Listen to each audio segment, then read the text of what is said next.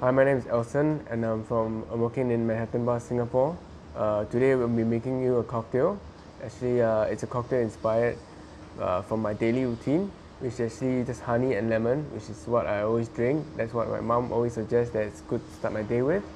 So today we'll be using uh, a spirit called uh, a Genshu. Actually, it's actually a higher ABV of 40%. It's a, it's going to be a spirit or drink. That's why it's going to be a stirred down drink today. Uh, actually, it's a more like a Manhattan style cocktail drink. So, actually, Gokuraku is actually from uh, Koku, Kumamoto, and it's actually a rice-based uh, spirit.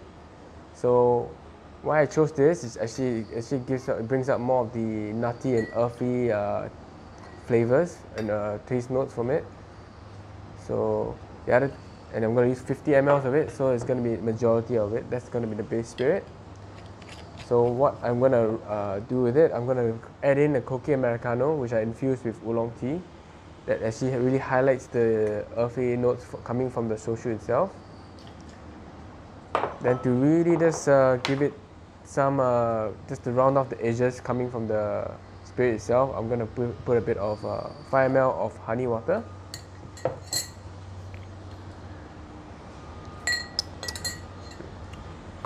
And then basically just stir it down. Give it a bit of stir. It's going to take you maybe 30 seconds or less.